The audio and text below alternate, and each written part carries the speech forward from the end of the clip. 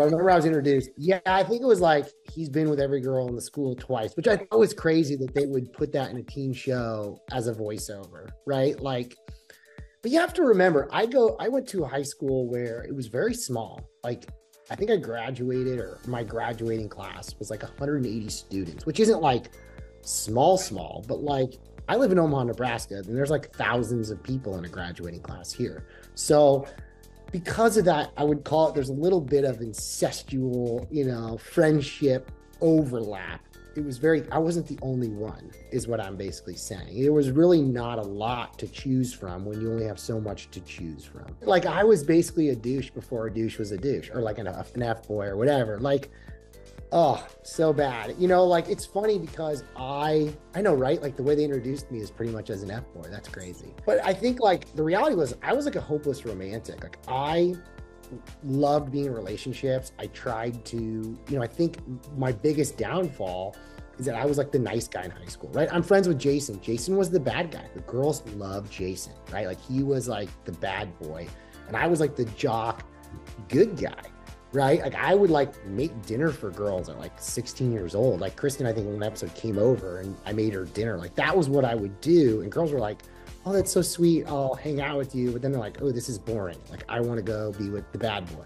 So it wasn't like I was trying to be an F boy. It was that I was honestly, the girls were kind of screwing me over, if I have to be honest. Like, I've always been a relationship guy, even if it's like dating, you know, for for three to four months. It's never been like I'm just like a one time kind of guy. Um, I, I wish I had a lot of insight into this, but I don't really remember very much because the show was a long time ago. But I will say that, you know, before the show aired, you know, I think there were already relationships happening or hookups, if you will, between, you know, I didn't hang out with Lauren until later in in the in my like second season or something like that. Kristin, you know, I think junior and senior year on and off. But really the point that I made in my TikTok was is that you know, I think the show did a great job of and or what what even what Lauren said, I texted her right after. I said, "Well, thanks for you know blowing up my entire social media today. I really appreciate it because it was like crazy when she when she dropped that, right?"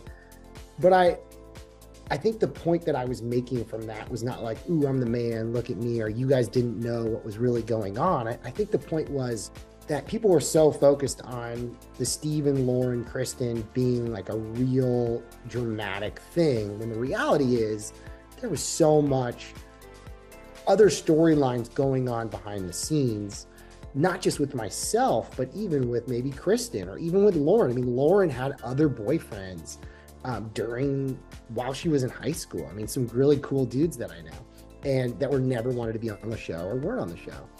So I, that was really the point I was making was that there was so much going on and MTV just for some reason and, and, you know good for them they made the right choice because America fell in love with with them as a trio but they really wanted to focus on that relationship specifically even if it meant fabricating that drama between Lauren and Kristin because it just made for good TV.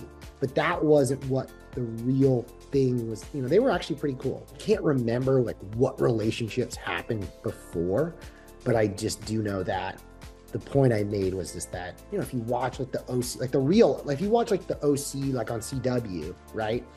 There are two characters.